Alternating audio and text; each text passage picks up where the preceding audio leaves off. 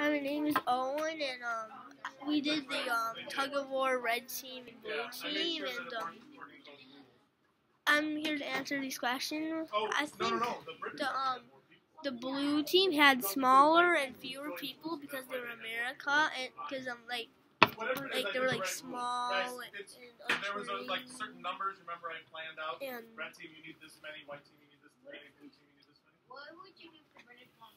and um, Well, I why was helping to just make sure it was kind of a. Why was thing, the red- I and I think didn't the red you to fall team was yourself, so bigger wanted with more by. people. But Was yeah, I've had it where the red team almost won, so I just pulled really hard the Um, other way. the British, the British um were like. No, but I mean, it's all depends. Oh, like the best military, a big amount of numbers. No.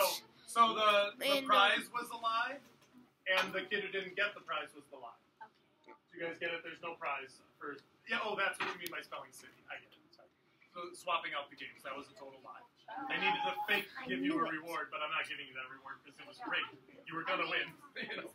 Why did the white team come Go um I think the white guys, team sure came the to the tug of war because um Always the same name. they um they were like France and Spain and the, they didn't join into like the middle of the war. And then um the I think why the blue team was offered a prize if they won, but not the red team because um the USA was um, fighting for freedom, so they had a prize, but um British didn't have a prize, so they didn't um, get one.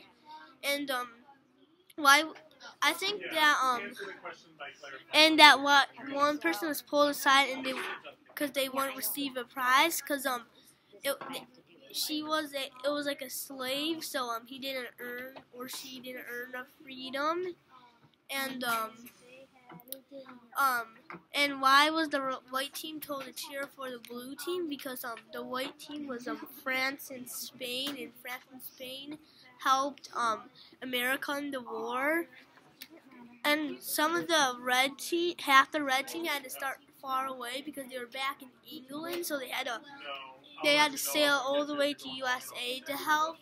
And um, the red team had to pull the rope so far. Oh wait, Kind of like answer the um, the red team had to pull the rope far, and the blue team didn't have to decide to prevent them because um, the British was on um, a fence and um, in the so the um, USA just tried to prevent them from taking it, and um, the um,